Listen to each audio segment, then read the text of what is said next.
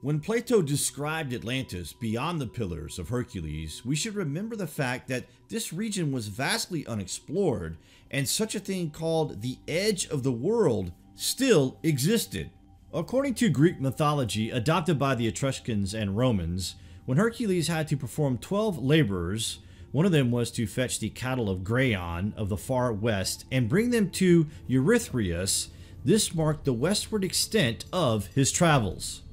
A lost passage of Pindar was the earliest traceable reference in this context. The pillars, which Pindar calls the gates of Gades, when he asserts that they are the farthest most limits reached by Heracles. Since there has been a one to one association between Heracles and Melkart since Herodotus, the pillars of Melkart in the temple near Gadeira have sometimes been considered to be the true pillars of Hercules. According to Plato's account, the lost realm of Atlantis was situated beyond the Pillars of Hercules, in effect placing it in the realm of the unknown. Beyond Gades, several important Mauritania colonies in modern-day Morocco were founded by the Phoenicians. As the Phoenician merchant navy pushed through the Pillars of Hercules and began constructing a series of bases along the Atlantic coast, starting with Lixus in the north, then Chelea, and finally Mogador. Mauritania is the Latin name for an area in the ancient Maghreb. It stretched from central present-day Algeria westward to the Atlantic, covering northern Morocco and southward to the Atlas Mountains. Its native inhabitants, semi-nomadic pastoralists of Berber ancestral stock, were known to the Romans as the Mauri.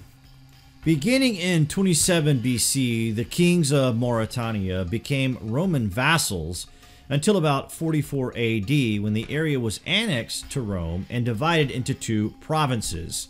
This area is, of course, where the Eye of the Sahara is located, which fits Plato's description of Atlantis. Is that just a coincidence? You have to wonder. Search for Atlantis is human obsession. There is a little known expedition in ancient times to find this land, which was in this unknown realm, and the explorer who went in search goes by the name of Hanno the Navigator. Wait till you hear this. In around 500 BC, a major journey was undertaken by the Carthaginian explorer and navigator Hanno. The epic voyage took him through the Strait of Gibraltar and down the Atlantic coast of Africa.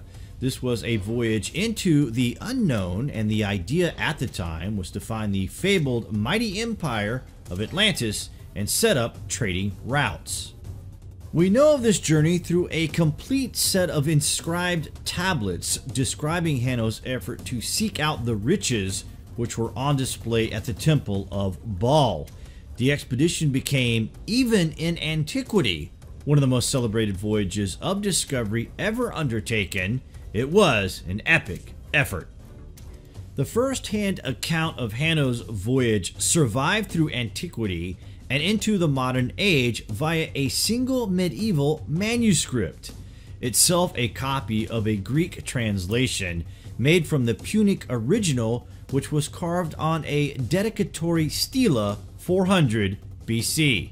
Scholars consider there to be at least two missing parts of the surviving text, including the conclusion. The work titled simply The Periplus or Coastal Voyage is short, but such is the paucity of Punic literature which survives. It is inevitable far beyond its subject matter of seafaring and exploration. The original surviving manuscript is part of the Codex Palatinus Graecus 398 and resides in the University of Heidelberg Library. Hanno is referred to in the text by the Greek term basileus, which is almost certainly a translation of the Punic suffet the highest administrative role in the Carthaginian government, often translated as magistrate. His name is a common one in the powerful Carthaginian clan, the Magonids, and would suggest he was a member of it. Beyond this, we have no other information about the leader of the expedition. The Roman historian Justin mentions in passing that Hanno fought a war with the Mauritanian natives in the mid 5th century BC. Given that Hanno's expedition established colonies in this area, Morocco, and would probably have caused competition with local tribes, this may well be the same person. Other ancient sources which refer to the expedition include Herodotus in the 5th century BC, Palaephatus in the 4th century BC, and various later Roman writers such as Pliny the Elder and Arrian, who likely consulted a 1st century work by Juba II of Mauritania titled The Wandering of Hanno. The precise date of the voyage is not stated, but was probably undertaken sometime between the late 6th century BC. The Carthaginian ships were made from wood and had a single sail with the possibility of oar power if necessary. They did not have the compass and so relied on the stars, especially Ursa Minor, for navigation. The following is a brief piece of the text of Hanno's epic voyage. This is the story of the long voyage of Hanno, king of the Carthaginians, into Libyan lands beyond the Pillars of Hercules, which he dedicated on a tablet in the temple of Kronos. The Carthaginians decided that Hanno should sail beyond the Pillars of Hercules and found cities of Libyphoenicians. He set sail with 60 counters and about 30,000 men and women, and provisions and other necessaries. After sailing beyond the pillars for two days, we found the first city, which we called Thymiaterion, Tangier.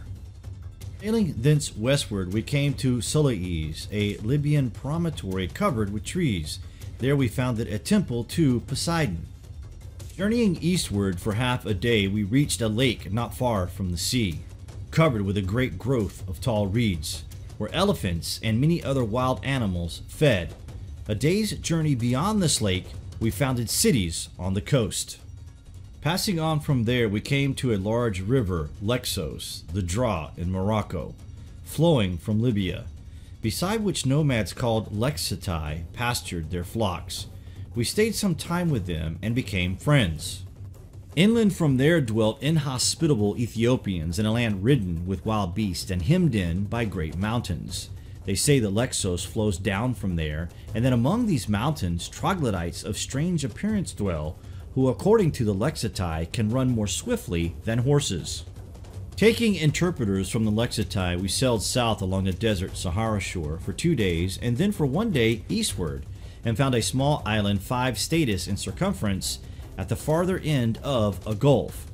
Made a settlement there and called it Cerna, we judged from our journey that it was directly opposite Carthage, for the voyage from Carthage to the Pillars and from there to Cerna seemed alike.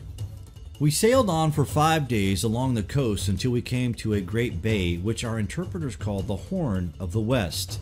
In it was a large island, and in the island a saltwater lake, within which was another island where we disembarked. By day we could see nothing but a forest. But by night we saw many fires burning, and we heard the sound of flutes, and a beating of cymbals and drums, and a great din of voices. Fear came upon us, and the soothsayers bade us leave the island.